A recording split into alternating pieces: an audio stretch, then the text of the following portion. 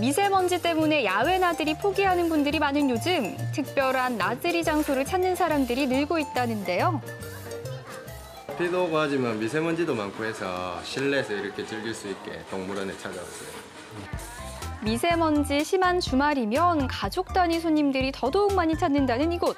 미세먼지 걱정 없는 실내 동물원입니다. 실내에서 다양한 동물들을 만날 수 있으니 미세먼지 맞춤형 나들이 장소가 따로 없는데요. 야 동물들도 다양하게 있어요. 네.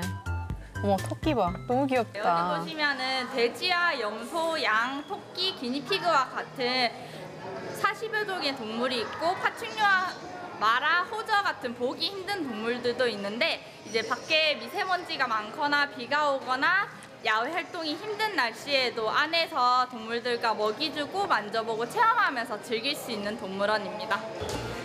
이곳에서 사람들의 관심을 가장 많이 받는 동물이 있었으니 바로 이 녀석입니다. 되게 특이하게 생겼네. 네, 그렇죠. 토끼 같기도 하고 고슴도치 같기도 한 이 녀석의 정체 과연 뭘까요?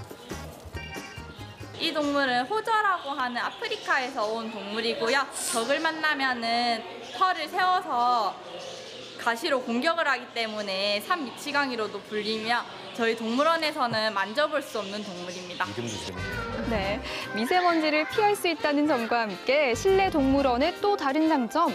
멀찍이서 동물들을 관찰해야 하는 곳과는 달리 동물들을 직접 만져보고 먹이도 줄 수 있는데요.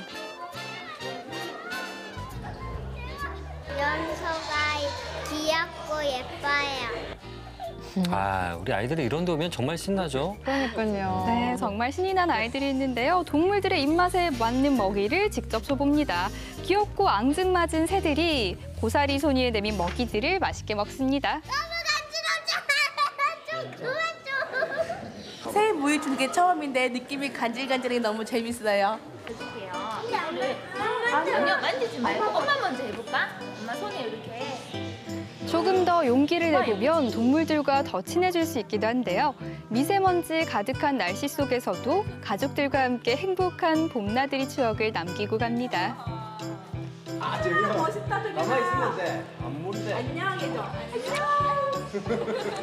미세먼지도 많고 요즘에 나갈 데도 없고 너무 걱정이 많았는데 실내도 동물원에 와서 다양한 동물 체험도 하고 먹이도 주고 만져보고 하니까 너무 즐겁고 재미났던 것 같아요.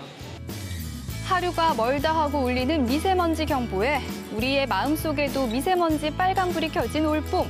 하지만 그 속에서도 즐겁고 건강하게 살아남는 방법들이 있었습니다. 오늘 만나본 다양한 방법들로 미세먼지 걱정 덜어내보는 건 어떠세요?